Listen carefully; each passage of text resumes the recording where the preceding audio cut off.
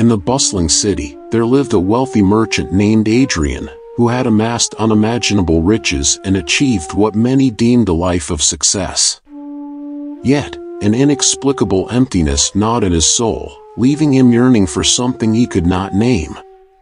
Desperate for answers, he embarked on a journey to a remote mountainous region, where an all-powerful oracle was said to dwell.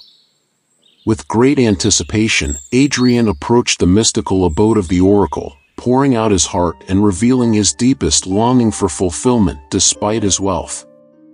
The oracle listened intently, her eyes shimmering with ancient wisdom. She spoke softly but with profound insight, telling Adrian that his emptiness stemmed from his obsession with the end result, disregarding the significance of the journey itself the oracle explained that life's true beauty lies not merely in the destination but in the experiences, lessons, and growth that accompany the pursuit of our dreams. By fixating solely on the outcome, Adrian had missed the joy of discovery, the bonds formed, and the invaluable lessons learned along the way. As Adrian reflected on the oracle's words, he realized the truth in her wisdom. He had neglected to savor the simple pleasures, the challenges, and the connections forged throughout his journey. In his relentless pursuit of wealth and success, he had lost sight of the present moment, failing to appreciate the blessings that surrounded him.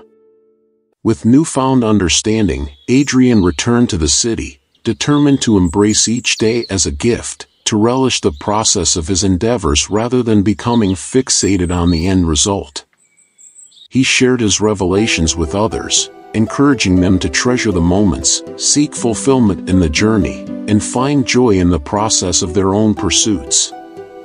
This story reminds us all to savor the journey of life, to appreciate the small victories, and to find fulfillment in the experiences we encounter along the way. True happiness and contentment lie not solely in material accomplishments but in the richness of our interactions, the lessons learned, and the growth we undergo.